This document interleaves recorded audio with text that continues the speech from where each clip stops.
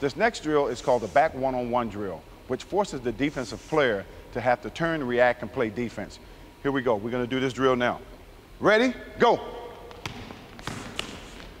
All right, pass it to the next two in line. Go behind, go to the outside. Go to the outside, the next two. Put it on their back. Go. Go. Keep going, keep going. Don't wait for her. Good, good. As soon as you feel that ball come off your back, you got to turn and play defense. Put it on the back. It's all, it's all on you. Good, good shot, good shot.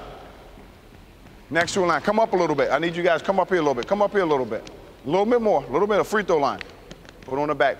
Get down and ready. You got to get down so you be ready to turn and play defense. Ready? Whoa, good shot, good shot, good shot. Put on the back.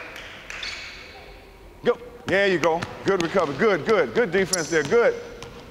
Yeah, keep them out there. Make them drill, but stay in front of them. There you go. There you go. Shoot it, shoot it. Good, good. There you go. Next two, next two. Come up closer. I need you at the free throw line. You got to be ready. Get your knees down. Get down and ready. You got to be ready. Go.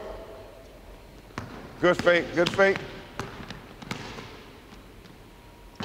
All right, good. Next two, next two.